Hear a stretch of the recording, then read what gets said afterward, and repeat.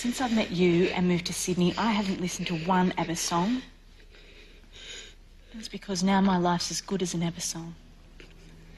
It's as good as Dancing Queen. When I got the job, I was just happy to be to, to get a job, to not be delivering pizzas, which is what I was doing right before that.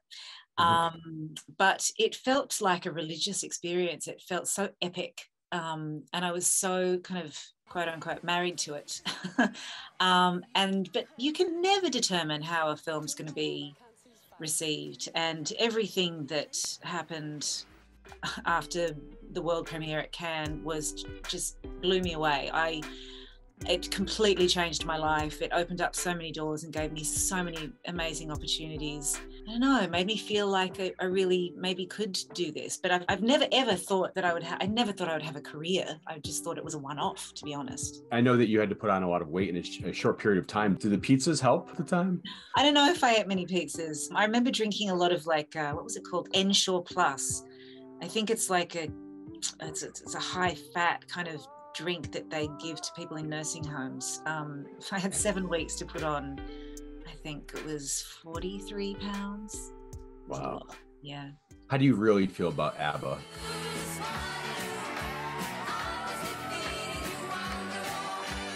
I love ABBA. I love ABBA. Always have. And everywhere I go when Dancing Queen comes on, I just think, I'm so happy this song follows me everywhere. Were you able to find the romance of the forest? Oh, blast. I forgot. Well, Harvey uh, Weinstein had Miramax at the time and had purchased Muriel's wedding. And mm. so I think he was kind of keen just to pop me in a couple of films. Emma was a big ensemble cast and it felt like much more of a family. Um, and Doug McGrath was just a beautiful uh, writer director. And we were shooting most of it out in Dorset in the countryside in England. And it was just a great, fun group of people. Velvet Goldmine, I think for me, oh, I just loved Todd Haynes for casting me in that because, you know, I'd played characters like Wendy in Spotswood and Muriel in Muriel's Wedding and Harriet in Emma. And all of these characters are very unsure of themselves. And then I think that my character in um, Mandy in Velvet Goldmine was was insecure, but in a very different way. She was very, very um, I mean, that whole period, that glam rock period is just so seductive and so glamorous and so kind of risque. And, um, and to be included with that group of actors at the time, I just felt like it was such a such a gift and like I was getting away with something, you know. Um, but that one was crazy fun. That was just uh, that was I never wanted that one to end. It was really just amazing. You'd cry because you miss Grandma so much. That's right. I read it very late at night, but I was actually in New York meeting Martin Scorsese for, for, a film called Bringing Out the Dead, and I was so enamored by Marty, and you know, obviously wanted to. I knew about him. I didn't know who Night was, so I I was kind of focused on on trying to work with Scorsese. Who wouldn't be? I still want to work with him. Right. Um, and and then I read this film at like two or three in the morning, and it was so surprising. It was so shocking and so emotional and so original and it just blew me away. I just I thought it was a beautiful story, like a spiritual story, really. Um, it wasn't until we were making it that I I walked past an editing suite and I was like, oh, I see what's going on. This is actually scaring me. But I remember I was, it was before cell phones, and I had called the hotel. I just had a feeling that there was some information that had come through, and there was a message from my agent and my manager at the time saying, Call me. And I was with Christian Bale at the time, and I went into a phone booth on the street, and he was standing there going, What's going on? And my agent said, You've been offered. And I screamed before he, before he got it out. And I thought he was saying, You've been offered bringing out the dead. And he said, You've been offered the sixth sense. And I was like, Oh. a lady, she broke her neck. Oh my God, but you can see her? Yes. Where is she?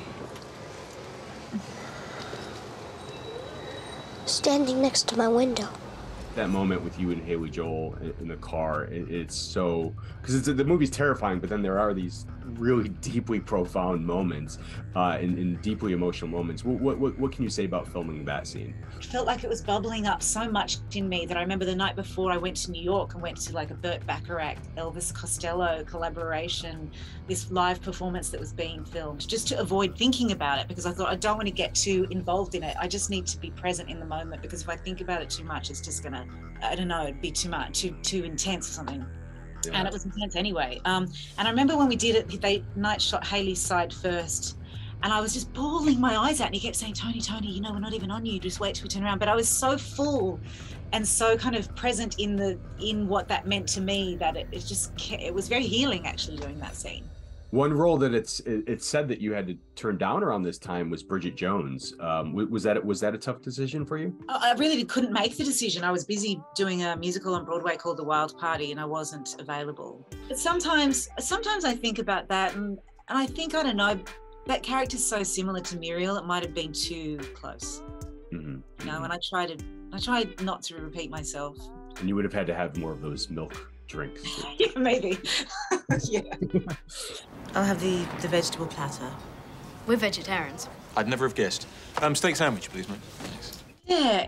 I mean, I play a, su- a suicidal woman who feels like she's failing at being a good mother and failing the world, not being able to, you know, save the world. Um, I remember thinking, all of you assholes are in a comedy and I'm the one in a tragedy here. I was really jealous of their experiences because mine, I think, was a little different. I loved working with Hugh. I love Nick. I'm so proud of the, the actor he's become and he's so beautiful. And I'm still in contact on and off with Chris and Paul Weitz and, and I, you know, bump into Rachel every now and again. And I do, I am very aware of how that spoke to a lot of people in terms of connections and in terms of the family you make you know, and where you feel accepted and where you feel loved and where you can be yourself. It was quite profound. The worst part was when they closed their eyes. You are a very good singer in real life, but I don't think that was the point here to show off your musicality. What, what, what was the, what was the direction there that you got? I think just to make it painful, you know, like, oh, no one wants to hear it. Um, ironically, that is my go-to karaoke song, but I sing it very differently. Guys, oh god, the world the world needs to hear that version someday. Remember when Olive was runner-up in the regional Little Miss Sunshine? Well, the girl who won had to forfeit her crown. I don't know why, something about diet pills, but anyway. Well, the thing is, there's no such thing as normal. That's what I love about it. You know, it kind of just, they're a group of people who happen to be family and they're figuring it out together on the road in a bus. And everyone was so great and perfectly cast, and all the dynamics were just clear and beautiful and weird. I turn 50 next week, and it's, this is kind of a timely conversation to kind of look back. But it really was a special one. It has a big heart and it says a lot of good things.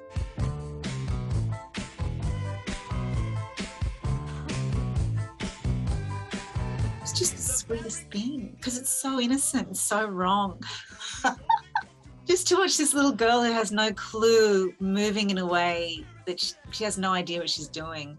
Mm-hmm. I remember being in fifth grade, and my friends and I decided we wanted to sing and dance. We wanted to put on a show in front of the class to that song by the Pointer Sisters. I'm so excited. And as soon as I was old enough to realize that how inappropriate that was, I was like, why did the teacher let us do that? But we just felt so free. Um, and it's that kind of thing. That's exactly what she was doing in that moment. She was feeling so good in herself that it didn't matter. It didn't matter that she was taught like all the wrong moves. Honey, we've got enough to do. I mean, does it occur to you that now that I'm better, you're just looking for another project? You were given the lead role in United States of Tara by Steven Spielberg without auditioning. Uh, what, what kind of moment was, was was that for you in your career? I remember it was before things were really sent via email. And um, so I picked up the script, a hard copy of the script from my agent in Sydney. It'd been sent from my agent in LA. I drove. There was a drum store underneath the agency. And so my husband went in to look at them, some drums.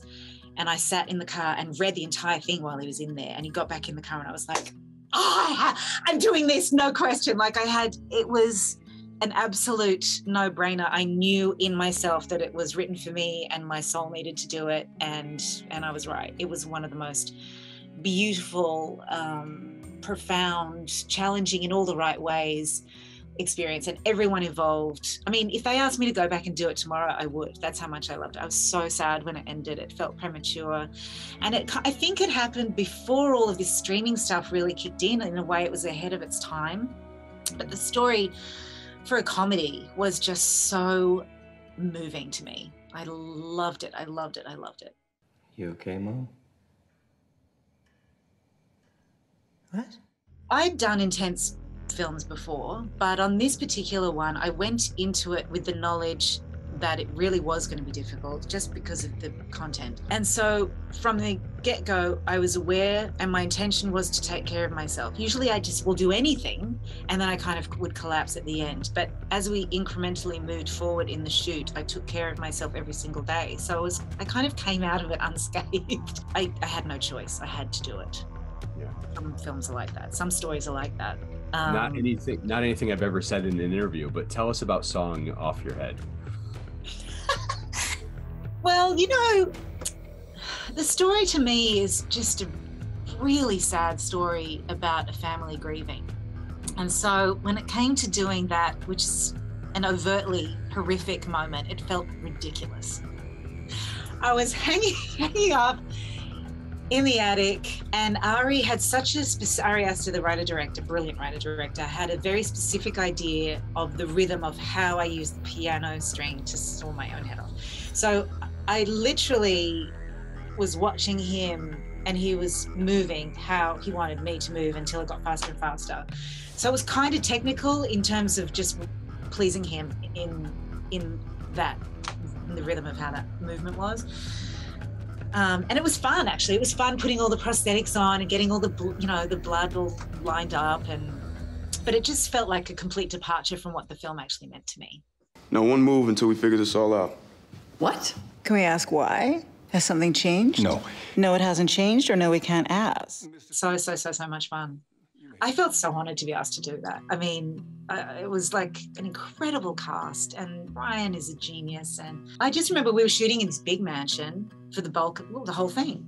Uh, and we all just adored each other so much, and it was cold. We just hunkered down in the basement, like all sipping tea with our little blankies in our coats and telling t- stories. And it was just, um, just a sweet, sweet experience. Just such a good time. Really was. Well, it's it's a meme now, so I have to ask you, how did it feel to have Captain America tell you to eat?